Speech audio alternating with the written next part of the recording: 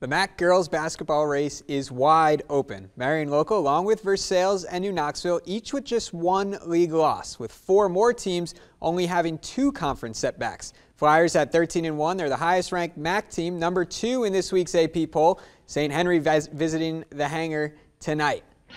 Starting lineups underway, Lexi Wilker and Emily Bumholt. A nice handshake. St. Henry on the break. Kara Brockman, nice pass to J.C. King on the baseline. Junior puts it up for the Lady Redskins. And Candace Jacobs to Allie Pruder in the quarter. Three ball is good for the senior. Lady Flyers pull ahead.